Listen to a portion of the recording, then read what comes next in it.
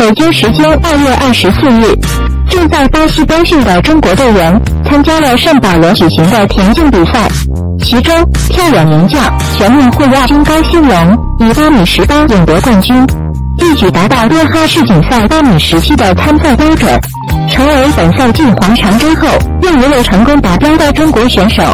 恭喜高兴龙！高兴龙冬训跟随南美分队来到巴西训练，此刻南半球正处于夏季，气温宜人，适合训练。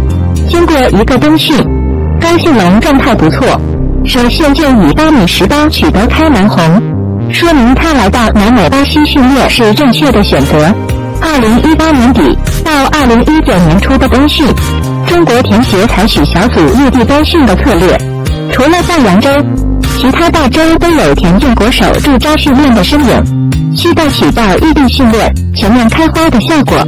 高兴龙是黑龙江名将，生于一九九四年，身高一米八十五，很早就露出卓越的跳跃天赋，且战绩辉煌。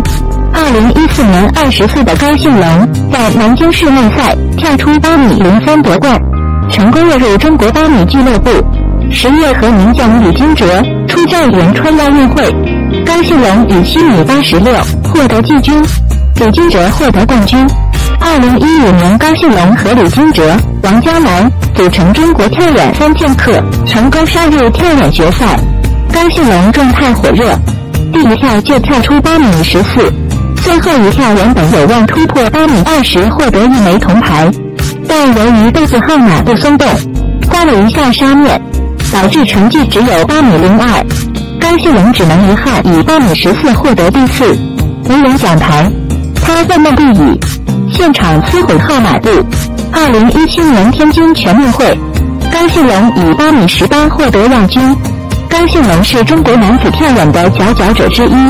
近年来，中国男子跳远出现了天才井喷的好现象，能跳出八米十五以上好成绩的不下四位。